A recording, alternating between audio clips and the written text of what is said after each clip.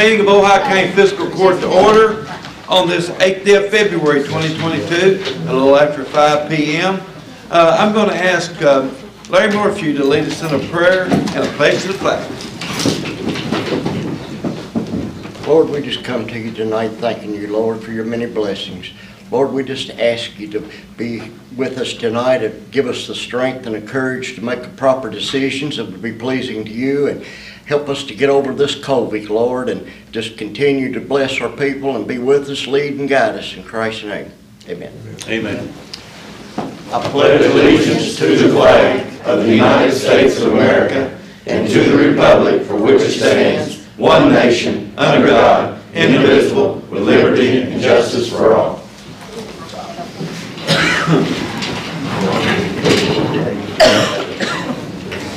Gentlemen, you have before you the January 25th, 2022 minutes, as well as the correction on the December the 14th, uh, or actually it's addition, correction and addition to the December 14th meeting. Make a motion. Motion by Larry uh, Count, second by Jason Bullock.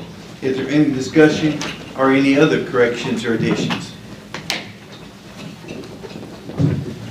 Questions, discussion, corrections, or additions? Being none, all in favor say aye. Aye. Opposed, like sign. The minutes are approved. Next, you have the bills, claims, payments, and transfers. I make a motion to. Motion by Sam Small, Second. second by Larry Morphew. No late list, right? No late list, correct? Correct.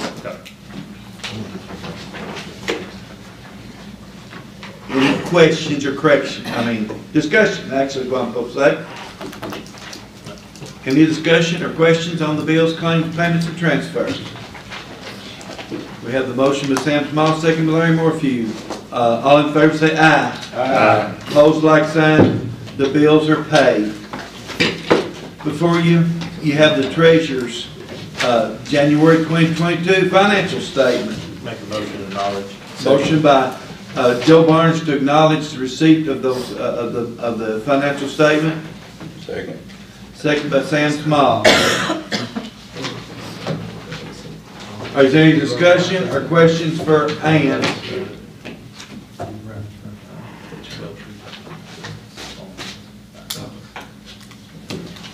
Uh, Okay. We have the clerk's 2022 financial statement. I Make a motion Motion by Joe, to acknowledge. second by Larry uh, Count. Or whoever. Yeah. Um, Is there any, any uh, discussion or uh, questions on that one? Judge, who did you get a second from? Larry Count. Okay. I could have got it anywhere, but that's when I say everybody's second. Uh, All in favor, say aye. Aye. Opposed, like sign. The clerk's uh, financial report is is acknowledged the receipt. We have acknowledged the receipt of it. The sheriff's year-end fee account. Do you need a motion on it? Yes. So. moved. Motion by Larry Count. Second. Second by Sam Small. Is there any questions or uh, anything about it? The sheriff is here, if you need to ask him anything about it. If there is none, all in favor say aye. Aye. Opposed, like sign. Uh, Next, we have the ordinance 2022-3. That's the interlocal agreement uh, for the uh, regional jail that we're working on. Um, This will be the first reading, the second reading will be in the newspapers and all that. I'll make a motion. Motion by uh, Sam, second by Larry Cam. Yeah, it's twenty-two three, ordinance twenty-two three. Yes, And this is for the jail board, right? Yeah, yes. this is just kind of to create the board. Um, I think Butler County and Edmonson County were po- supposed to pass similar ordinances. Uh, we'll pass this ordinance, and then what we'll also ask you to do is, is to entertain a motion for the Green River Regional Detention Center Management Agreement, which it's then given that board some powers to be able to take some steps that the state will, will, will need in order for us to even kind of get the ball rolling. So we'll do the ordinance first, and then we'll need the approval uh, upon upon motion and second for the management agreement to be entered into. That'll be all the counties want. Yes, all, it- it- and that'd be on the presumption that all the counties are gonna do those, Okay. take those same actions. But right now, the ordinance is on the uh, table, so roll call that, Miranda. Barnes, Yes. Johnston, Yes. Helm, Yes. Morphew, Yes, Small, Yes. Bullock. Yes, and the- the- Jennifer, you're saying, so none, one of the counties back out of this and they'll sign it, it's just this is null and void. Pretty much.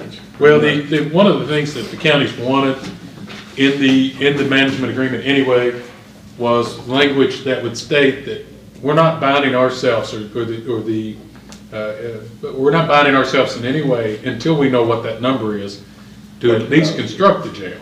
Okay. So, so all the counties wanted to make sure they weren't binding themselves to, because the number, no telling what the number Yeah. could be now. Right. Okay, on the, uh, uh, management agreement, The regional. Where is it? I don't even have a copy. It, it'd be the, uh, Green River Regional Detention Center, Center Management Agreement. So, motion by Larry Count, second. Second by Larry Morphew. Now, you said, Justin, that one would give them some powers. What kind of powers for you? Well, what, what, what's gonna happen is, is that the judge, along with the other two counties, would set up the board. And then this board, what it, what it states, and, and again, uh, the very first section is the contingency that the counties are not binding themselves to anything until, um, uh, the expenses and everything are determined and whether that to be appropriate. But this board will then start to meet. They would have the authority then to, uh, This is the ordinance. upon the, the the court approving, Give you two. uh, obtain services for an architect, obtain services for studies that may need to be, uh, possibly take action and, and, um, So any you- options to purchase you got it. Taking a lot of the, the steps that, you saw how long it took for us to get the management agreement. Right. This board is gonna take, is gonna, is gonna be the ones, uh, they're gonna be the group that is going to try to. But it's clear that everything will still have to run through everybody's courts. It- It's to finalize pretty much everything and the allocation of the expenses. Hiring, paying for services. We'll approve the figure, uh, uh, the, the once the a figure is approved, we are okay with the Well, I'm talking about even like Yeah. contractors or anything just Oh, yeah. coming out there. Absolutely. looking at that. not the same one. Yeah, and, and it allocates those expenses, should all the courts approve, uh, as the county, uh, Ohio County paying fifty, Right, Edmonson paying twenty-five, Butler paying twenty-five, and that was based on prison population, right. uh, on that, you know, the study that we originally received. And they'll be reviewed in three years. So land purchases or land agreements or anything will still have to run through the court. Oh, absolutely, because it, it, the court would have to get it appraised and everything of that thing. Okay. Okay, Judge, you know whether anybody, any of the other two courts have passed the uh, resolution? we think they have, but we couldn't get that verified today, because our court meetings were yesterday. Okay. Um, I guess, all in favor say aye. Aye. Opposed, like sign, that's passed. Next, You reckon we ought to do a roll call on that, Justin? Uh, probably yes, uh, I would say so, Judge. Yeah, just to be Roll on, just be on the safe side, Yeah. Judge. And the judge, I've got one officer that has somebody that has a question, so I'll be right back. I just have to Okay. answer that email. okay, Barnes, Yes. Johnston, yes, Helm, Yes. Morphew, Yes, Small, Yes. Bullock. Yes, okay. The next one, uh, I'm hoping that Joe Barnes will make this, uh, because it's his district. The governor has given us a hundred and, what's that figure again, sixty-seven thousand eight hundred and ten dollars. Okay. And uh, we're going to pave a, a portion of Pond Run Road with that money that he's given us. So we need to pass this agreement and uh, this resolution, and and Miranda's going to pass it around, all of us have to sign. Uh, So, Joe, I'll make a motion. I second it. motion by Joe Barnes, second by Larry Morphew. This is uh, something we've been working on for a while with the, uh, with actually uh, Division of Fish and Wildlife and and everywhere, you know, try to come up with some money to, uh, to utilize that road better so we can utilize those facilities down there as far as Fish and Wildlife uh, area for uh, all the sporting goods that goes on down there, fishing, hunting. Joe, how much more would it take to do the whole? I don't know Just the, ballpark. the figure here, I've got, to- I've got to run it down on the road, uh, mileage, and then also, you know, this was based on Scotty's bid, uh, back in, uh, sometime last year. Well, So we have to see what the, the, uh, if there's any changes in anything by the time we actually get ready to blacktop. Right. But that was good that we got this because of the General Assembly in 2021, It really limited the amount of money the governor had for his discretionary fund for roads. So we really done something getting that.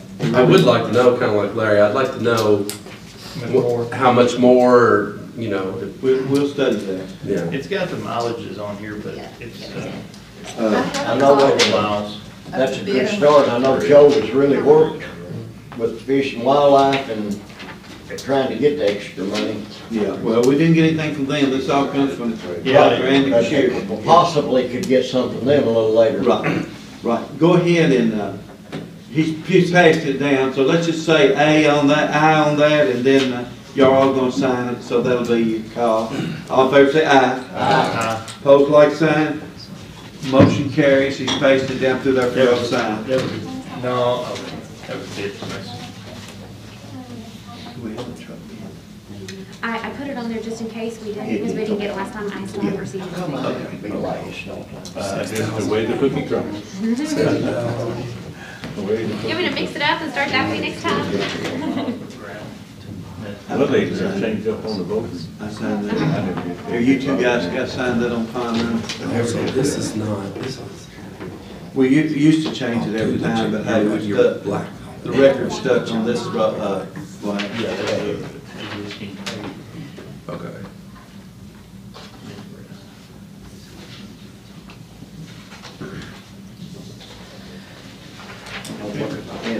Okay, thank you, Larry. All right, let's move along to, uh, there is no truck bids, No that's truck on there. bids. And we, in case uh, Denny came back with his quotes and all that, we've had on there, Kate the did. Charlie Shields, you tell us about the Rough River Drainage Project, and uh, you'll introduce Corey Elder in your talk. All right, uh, first of all, let me give you some FEMA update. As of today, we've had two hundred and forty-three people to register for FEMA. I know there's a lot of red tape in it, uh, if y'all still see anybody that needs something, please tell them to register. They ain't gonna guarantee they're gonna get something, but if they don't register, that's where all the money is tied How to. much longer before? Till eleven, we got till eleven to get people registered. That's We- for their first sign up. After that, appeals and all that's still on the table. We Uh, gotta get the first one done. That, exactly right. We had a young lady who got a little bit of money, she didn't think it was enough. We had FEMA, she got her name to us, we had FEMA call her, and come find out, all it was was missing the paper from insurance. Then she wound up getting a pretty good little chunk of money from them. So, please tell them if they have any problems, come call me, come to my office, I'll come to them, whatever we gotta do to get them registered. Uh, with that being said, Judge called, we got the NCRS, National Resources Conservation Service. They come down, we went on the, all the blue waterways. Uh, they've almost guaranteed us money. They're gonna help us clean out Rough River and the creek up around sixty-nine going back before you get to Point St. Clair's. Now, the problem is, it's gonna be April, or May before we get the money. So anybody who's gonna go in there and clean out their own ditches, Army Corps ain't gonna say nothing about it, they're, they're turning the head. And that's why I've told everybody who's up there. If you wanna clean out your own ditch, you go ahead, but we're eventually gonna get money to come and clean all that out. Uh, I wish Mr. Haney was here, but, uh, we're gonna get money to help him out in the bridge up around Streets Road project. So we're, we're gonna get that taken care of too, through the net NCRS. So, I know there's been a lot of misception out there with people saying they can, can't clean out ditches. I'm here to tell you on record, they wanna clean them out, let them clean them out. And that's what I'll tell them. Uh, nobody's called me, because if they call me, I'll tell them to go do it if they got the equipment to get it done. But that is, we are gonna get money probably by April, May, to get that done. Certain sections of the river or just? what is it? Everywhere there's drainage, we, what we did was, the other day, we went up there and we hit all the hot spots we know, okay? After that, we flew it. They flew the, the Rough River, they found some more down in Joe's area, in the Centertown area that I didn't know about, so we input that on there. And what they're doing, anywhere there's a bridge that could be impacted, they're going a half a mile each direction. And anything in that, that's number one priority. Then they go from that, that's, that's A category. B category is a stoppage that's eating out somebody's cropland. A's first, B's second. We've got several of that, don't we? We got several of that. Plus danger in the roads. Yeah, and we know one of the biggest ones, Summers are up here on, on Barnett Station back there, under the one sixty-five interstate, and that's gonna be part of the number one priority. And the way this is gonna work is, once we get the money, it'll run through the fiscal court, we'll sub out a contractor, and all the money will run through us to pay the contractor. How does that work, Charlie? Do you, do they, do you, if you get a contractor, how many, how many dollars are we talking about? Do you have any idea? I don't have no Or is there a idea. limit on it, cap on it, or anything like that? No, it'd be, uh, federal rates on all of it, and what the NCRS will give us a pro, a number. They will also have a guy assigned to me, and we'll go out there and we'll, we'll sub out the contract. Then these guys will have X amount of time to get that done. As long as they're happy and I'm happy, we'll sign off on the ticket and then we'll pay them. On the So, bridge on Three Road now, is that, how's that money gonna affect that bridge? well, we're hoping it gets replaced. I know it's on the list to get replaced. We're hoping it's gonna get moved up, because with this being the tornado and it's affecting that, uh, we was up there the other day with everybody, you can already see with the debris backing back up in there. Yeah. So, uh, we got pictures of it, so I had to put that in very high category. Yeah, it may not make the number one, but it'll be. No, the number one's at the interstate. Did they fly the whole Rough River? Ohio County, yes. Because I, I From- know that all that in Centertown would be washing down that way. Right, they flew from Rough River all the way down to when it went out. Okay. Then we've actually flown some drone footage to show you of it. We got better with that being said. Okay. Because we didn't have that before, right? No, we did not. And also, uh, I don't know if any of y'all are aware the Eagle View, the pictometry program we got here. Jason Chin called the people. The tornado happened on December tenth. On December twelfth, we flew the county.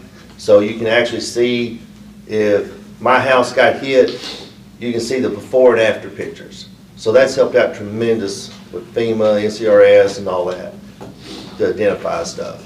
So we had that done. Yeah. Uh, One other thing for y'all being aware of, the Rochester Dam project.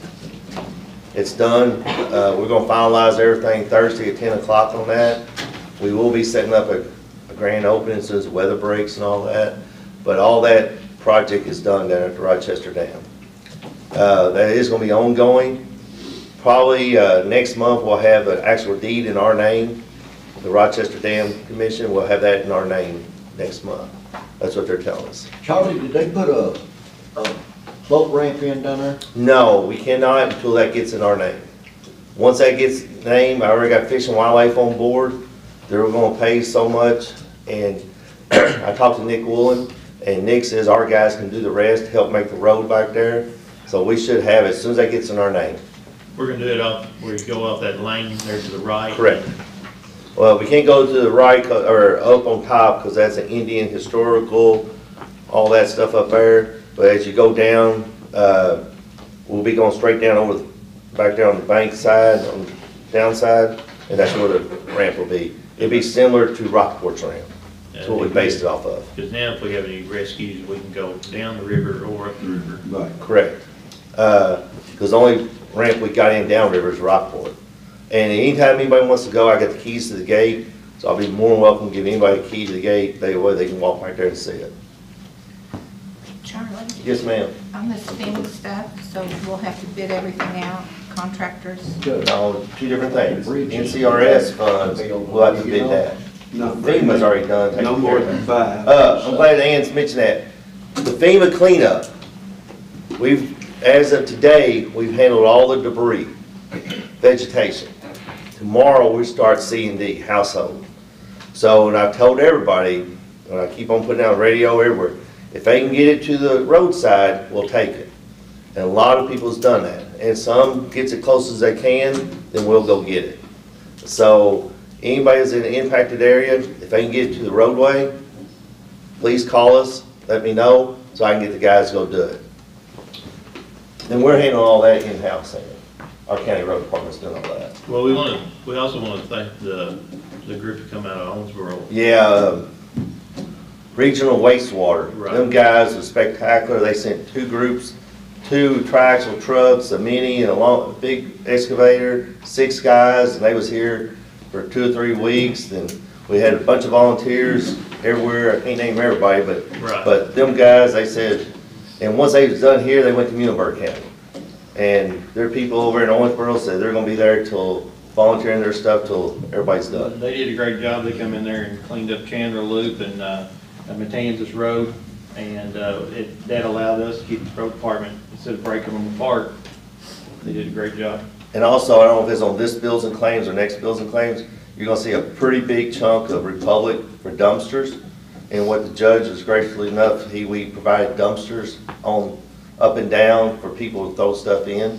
So anybody pretty much called, we, we got them dumpsters applied. So you're gonna see probably a twenty-three hundred, twenty-four hundred dollar bill on that for dumpsters. We take care of it. That's all I got. Anybody got any questions on that? Thanks for the update, Charlie. Okay. Is that, uh, on Burgess Lane? Thanks, Charlie. Is that on the list? On what now? Burgess Lane at present? It is. It's the top of the list, I That's in can. top of, what, maybe the next Of year the or so? thing. I'm hoping soon, hoping this calendar year. Um, Corey, you want, got anything for us? Um, all I was really just gonna echo a lot of what Charlie said about the FEMA, uh, making sure everyone applies and, um, um, uh, files an appeal if they, um, don't get a satisfactory result. Um, you know, he said, uh, to refer people to him, feel free to refer people to our office as well if they have any issues. I've talked with several people in Ohio County, uh, more towards Centertown as well, uh, on that. Um, so I'm just here to listen and, um, see what we can do to, to make sure everyone gets all the federal resources that are out there, because it is a complicated process. Yeah. There was a new fe- female lady come here today, spent quite a bit of time with Mary and Miranda, and uh, go- she's gonna reach out to anybody that's ever complained to us about FEMA not taking care of their claim correctly. She's gonna reach out to every one of them. So that's a new person in town. Okay, um, Next, we have a presenta- presentation from St. Benedict's. They're gonna talk to us about a possibility of that, they and us going into partners to have a homeless shelter here in the county. And this was part of the ARPA committee too. Yes, This is ARPA committee recommended it, and they've already came and spoken to the ARPA committee. This would, this would be ARPA funds, not county, so if we do it, it would be ARPA funds, and like I said, the ARPA committee, this is one thing we feel like money should be used for, is to help people in need, and I think that's what it's intended for by the uh, federal government. And so they're gonna tell us what a partnership could look like. Well, thank you for having us. It's always an honor and a pleasure to be able to stand in front of a court, um, gentlemen like yourself. It's been really good having these conversations back and forth. It's our passion. My name is Harry Pedigo. I'm the Executive Director of St. Benedict's Shelter. And just a little bit about St. Benedict's is we're one of the largest shelters in western Kentucky, and we focus primarily on men. Men is our biggest facility. We house about 490 men a year that we encounter with. And that's a lot of guys. It is a lot of guys. Most of them are in and out within 30 days. You know, they just experience homelessness. Homelessness is really, you know, stigmatized, and most people, when they hear it, there's a lot of negative stereotypes that go with that, but it's just an experience. No different than one of us stumping our toe and experiencing that pain for an hour, a day, a couple days. It's an experience. And so, uh, us at St. Benedict's, we focus on emergency housing. That's what we focus on. Our mission is shelter, social support services, and a Christian atmosphere. Real simple. In that, we'll provide case management, targeted case management, which is specified to substance use issues, severe mental illness, severe emotional disorders. We do drug and alcohol assessments. We, do- we have mental health partners that we work to address mental health needs. Uh, we do and participate in the rapid rehousing program, which is phenomenal. It's a state program. Literally, if there is housing available, they will pay somebody's rent to get them off the street for two to three years and walk with them through that process. Know, so we have all these different programs that we do. We have transitional housing programs, not just for uh, individuals that are chronically homeless or transitioning from substance use facilities, but those that are also veterans. And so we really pride ourselves in what we do. So when I got a call to come, hey, speak to the, to the judge and you magistrates, well, you jump on that opportunity for a lot of reasons. One, I've been there. You know, I've, I've been homeless myself. I know what that experience is like. Two, I know what it takes to overcome that, and it takes relationships. So when I hear you, Judge, thanking Owensboro for coming down here and helping with the water, and I think, wow, that's nice, they're coming down and helping, and we're coming down like it's what it's about, is working together. And so I commend y'all for even developing this ARPA committee and really trying to address these issues. One of the questions you'll probably have is how many people from Ohio County come to Owensboro? Well, I ran the numbers. The night I was here, Judge, I didn't have the exact numbers for this year. In the last year, 52 males from Ohio County had visited our facility. Now, I wanted to jump around and get the numbers for the women and the children, but that would take me getting information and demographics from all the other shelters in town, and I just didn't have the time to gather that information.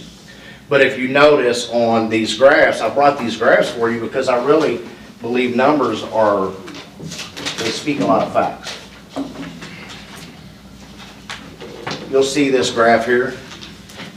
It's a pie chart. You'll see most of our, our population there in Owensboro are Daviess County, Owensboro, over 48% of those individuals. And then it breaks down into the, the more counties that we serve. Ohio County being the biggest one. And I say that to say that what y'all are doing and your focus is correct. Rural homelessness is totally different than metropolitan homelessness. It's not like Louisville and Indianapolis and California, it's different, right? These are individuals that, they don't know where to go, so they may, you know, uh, house up with a family member that's really not a good relationship for them. It's not healthy, could be bad, could be holding them back. And so in doing this, you will, you will be able to reach those individuals, and I think you'll see that the need's probably bigger than what you're realizing at this point, because it does hide in plain sight. It does. If you look at the next, uh, the next chart, you'll see where most of those 52 individuals have came out of, the, the towns, most being Beaver Dam and Hartford. But you see they're coming from Whitesville, they're coming from Fordsville, Utica, Livermore, Cromwell, Centertown. And then I put the national demographics on here. These are, uh, last year we had 460 individuals with 101 different zip codes. That tells you that people are gonna travel. You're gonna have this issue come with it. You're gonna get people from out of town, from out of state that will pass through here or come through here and stay. And, and that's okay because they move forward. So it's important for you to see that, that people will come from other places too. I mean, that's what's happening because a lot of the counties around us do not have services for the homeless. And so, you know, we don't turn them away. We just take them, we help them, we move them forward. We believe that if we can take a man in or a woman in, get her, on- get her on her feet and get her back out the door, she's gonna help the next person do the same thing, and I truly believe that. So for the court, you're probably wondering, well, what's this mean? What's it look like if we were to, to go into it with St. Benedict's? How would this benefit Ohio County? Well, a lot of different ways, right? You'd be able to keep your citizens here in Ohio County, which is okay if they come to us, uh, but it would be good. I, I talked to a guy the other day and I have no idea how he heard me. He said, when's Ohio County getting a shelter? I'd like to go home. And I said, what? Because he does have some, some, uh, some mental issues. But he had heard that, and I said, I, I have no idea what you're talking about, but if they get one, I'm sure you can go home. So, you know, you do have your citizens that want it, they would rather be here than in Owensboro. You know, it's a big adjustment. You'll notice I put a picture in there of a building, and she told me, she said, that's gonna be a Domino's. I said, well, that's fine, but as I was going through Ohio County the other day, I stopped and took a picture of that building because that's about what it's gonna take. That's a pretty good size facility. I'd say that's probably about nine thousand square feet. The reason I would say nine thousand square feet is it would give you room to grow. It would give you room to add different programs if needed besides just housing. We discussed last time, we discussed, um, the possibilities of doing an overnight shelter. What does that look like? It would be open from eight at night till six in the morning. You get them in, you give them a warm bed, a hot meal, and a hot shower, let them do their laundry. The next day, they would have to go. You could do a 24-hour facility. In doing these different facilities, they have different, they have different costs associated with them. 24-hour facility takes a lot of staffing. We do, we run, operate six facilities with 14 staff members, one of which is 24 hours a day. And we do it on about a $750,000 a year budget. We could operate an overnight shelter here in Ohio County if we had the right building, a hybrid model, men and women, for about 275, 300,000 a year. So it's something to think about, and it's something to continue these conversations. I commend y'all, that's, that's a tough conversation to have. It is. So, does anybody have any questions so far? I know I, I talk fast, uh, I get passionate, I get heated up about this stuff and energized. So of your budget each year, what, what actually comes from the court uh, in, in Daviess County or the city of Owensboro? That's a great question. Uh, The city had decided a while back they were gonna give their funds to United Way, and when that happened, we lost those funds. So if we want funds, we have to apply through them through United Way. United Way does what they do with those funds. Uh, So I think the city gives like five hundred thousand to social services, and it goes to United Way. We get none of those funds. We did for a while, their volunteer committee shifted funds around. Of our seven hundred and fifty thousand dollar a year budget, ninety percent comes from grant writing, fundraising, and individual contributions, corporate sponsorships. The fiscal court there gives us twenty-five hundred on their budget, but I'll give you an example. The year before that, they put a thirty thousand dollar sprinkler in our building. The year before that, they bought us two vans for like thirty thousand dollars. If there's something we need, they step up and just do it. And the, the reason I don't think that we get the funding that we should from them is because we're, we're in the city. Like, it should be a city's responsibility. If we're in the city and the city's not, they're not, they've chose to go a different direction with their funding. So that's a good question. We do get a hundred thousand a year through, uh, the ESG funds, which is through Kentucky Housing Emergency Shelter Solutions Grant. Um, and that helps out quite a bit too. So, So you said that if you had people from outside come in, uh, that you don't turn them down. What if you're at capacity or past capacity and you don't have space for them? That's a good question. So we typically have the resources to where if we need to put an individual in a hotel for a day or two to buy some time until we can get them in, that's what we'll do. Have we turned people away before? Absolutely. Uh, sometimes you just, you have to do that. Um, in the facilities that we're in currently, we typically will put a cot on the floor and put them on a cot overnight. Is that right, wrong, or indifferent? The fire marshal may tell you, hey, don't do that, but we believe we're gonna do the best we can to help the individual, so.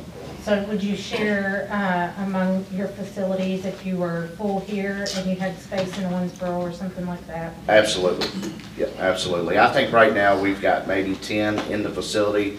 Out of the sixty-five that we have in our men's facility, I think ten right now are from Ohio County. Which, you know, it's not like if you opened up a place, I'm just gonna ship them all down here. That don't work that way, you know, we're not here to move people around, we're here to just help people. And and if we can keep them where they wanna be, then that's what we wanna do, you know? Any other questions? Concerns? We really appreciate you uh, telling this, and we are, I think, I speak for all of us, I know Jason and I was there with you the last time you spoke to us, we're interested, we don't know exactly what we can do and what it looked like, but we're interested in. Uh, And that's kind of, this is explored, we're not really for sure.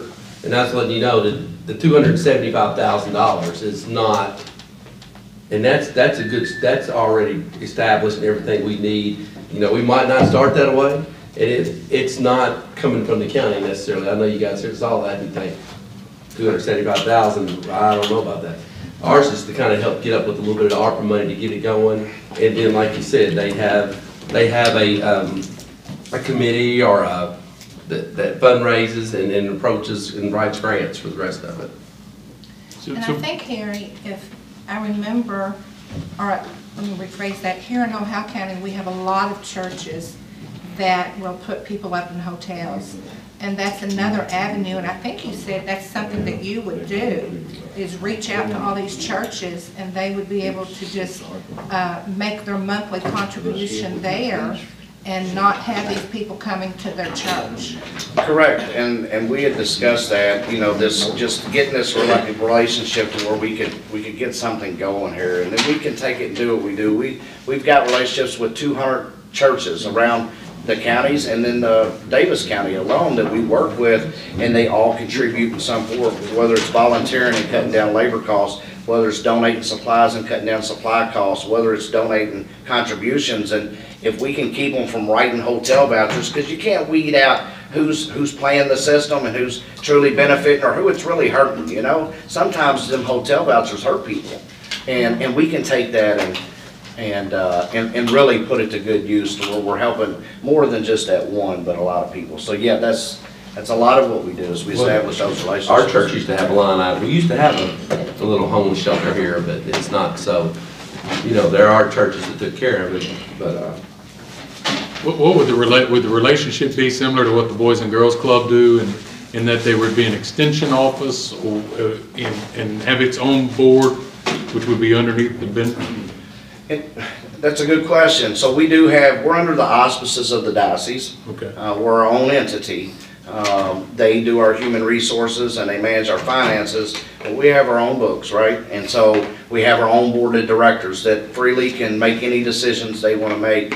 It would be like an extension. And we had talked about possibly having members of, of the court be a part of the board or having a direct subcommittee off of that specifically for this, this area. And one of the other things that uh, I thought was really interesting is that if you did employ people, that is under your umbrella. The Correct. court would not be responsible for any of that. And through the diocese, I think you all get labor a little cheaper than we could. Well, we, I don't know about cheaper. We can retain it because we, we offer benefits. We offer a 403B, we offer a pension. We offer medical insurance, dental insurance, life insurance. And so that alone, plus the culture that we foster amongst our staff, uh, we don't have a hard time keeping people to work. You know, they want to work and they want to be a part of, and it's very uh, rewarding. So yes, that's how that would, they would do, they would be under us. What, what do you guys, what is the average pay? Um, it depends on what you're doing. So, so we've got social workers, their, their average pay is anywhere between thirty and forty thousand a year because they are licensed individuals. Uh, we have substance use counselors, their pays vary between forty and fifty. Uh, our, our typical staff that monitor and secure the facility is around ten dollars an hour or so, eleven dollars an hour, plus the benefits, the paid time off. We have a lot of different benefits that come with that too, so. And do you guys help these, these folks who are going through the program to get jobs?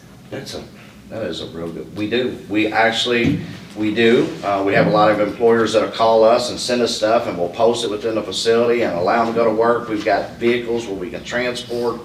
Um, you know, all this stuff, we try to identify these gaps and it would be different. We'll have different barriers here, right? You don't have, there's not a bus system. So then there's, how do you get people around and where do you put it at? and How do they get there? So there's some, there's some gaps, but that's what we do. We figure out these gaps and we try to accommodate.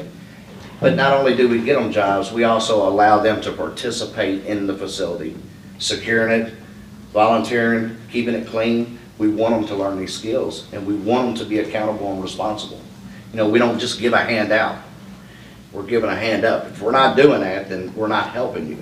That's correct. So, I appreciate, it. like I said, we're interested. We'll stay in close touch. thank you, Judge. Thank you. thank you. Uh, Next thing we have, it's uh, on your agenda, it says personnel. Uh, I have one personnel issue. It's, to- I put up the name Byron Swift at the animal shelter, as a shelter attendant, full-time, twelve forty-two an hour, effective tomorrow. And that's a roll call, Miranda. Barnes, Yes. Johnston, Yes. Ham, Yes. Morphew, Yes. Small, Yes. Bullock. Yes. Okay, the next thing I have, well, then committee reports, but the first thing I want to bring up under there, uh, uh, is, uh, the wastewater board. Joe Bennett, who retired from the Beaver Dam City as a, uh, worked in water and sewer there, and then he worked for the, uh, Ohio County, uh, Regional Wastewater Board, and, and now he's retired from that, and he's agreed to serve on that, uh, committee. So I put the name, I mean, that board, uh, Joe Bennett for the Ohio County Wastewater Board. Miranda? Barnes, Yes. Johnston, Yes. Count, Yes. Morphew, Yes. Small, Yes. Bullock. Yes. Uh, Next, we're gonna have a close, a short presentation from the coroner's office.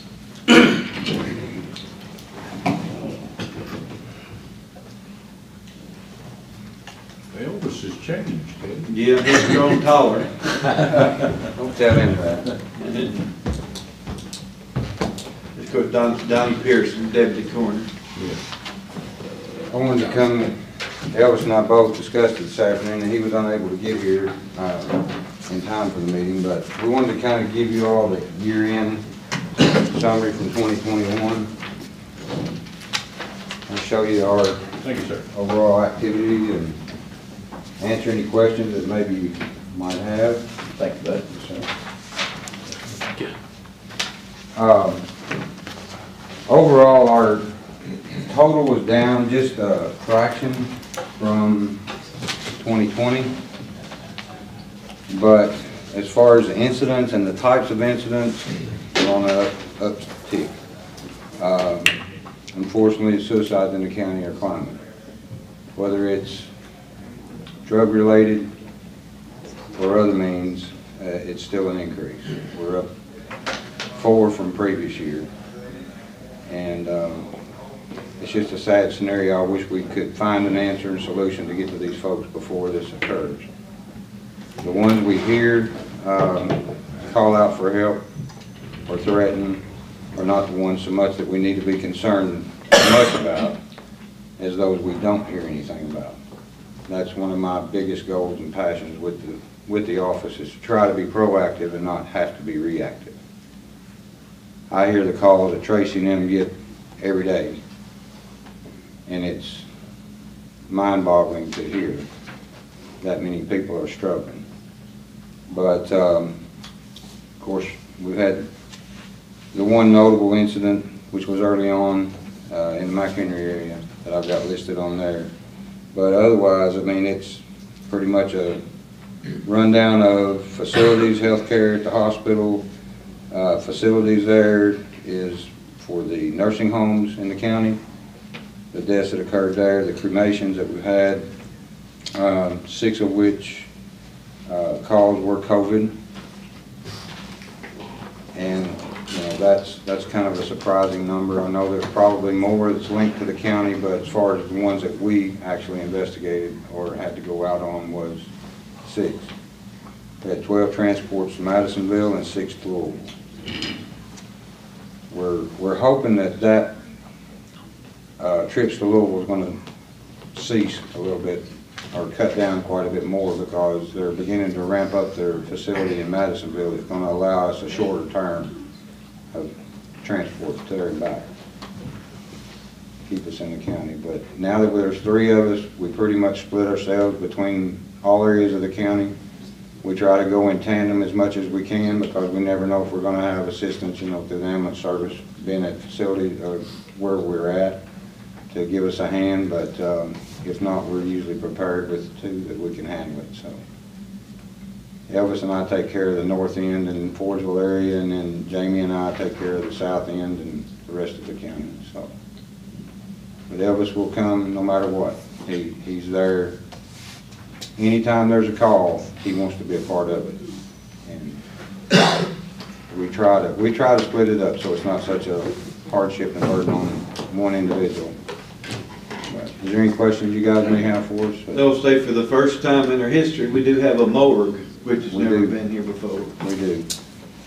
We're trying our best to uh, upgrade that and get a little bit more room involved there. Uh, We discussed earlier, you know, that we had a, a larger cooler on order.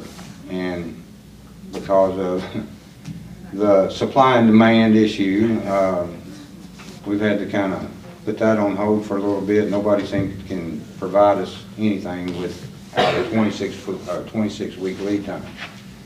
So, um, until that gets better and we have more room for it to, to house it, then it's kind of not a good idea to go forward in a breakneck speed to get it right now. But we're still trying to find something that'll work for us and, um, we use it a lot. What we have, we use a lot, more than what we ever realized.